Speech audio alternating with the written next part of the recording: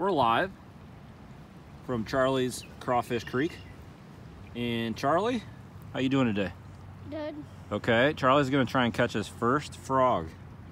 Okay, now the key is you wanna be behind him the whole time and just try to smother him with your whole hand, okay? And don't be scared of him. All right, buddy, I know you can do it. Do it for your mom. Okay. All right, let's do it, man. You had him, dude. See him? Get him. Get him. Come on, you can do it. I need to be on the other side. Nope, you can do it. Right there, man. I know it.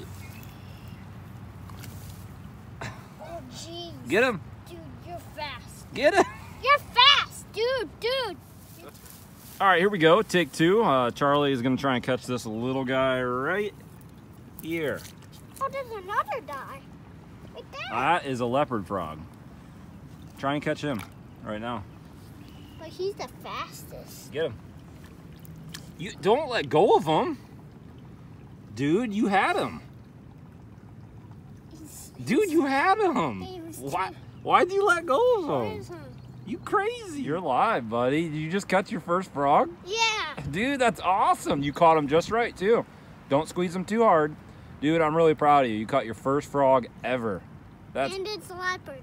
Yeah, that's awesome, dude. Yep. So cool. All right, let him go. Let's watch him swim. We should let him go. Let him go. Um, Right there, bro.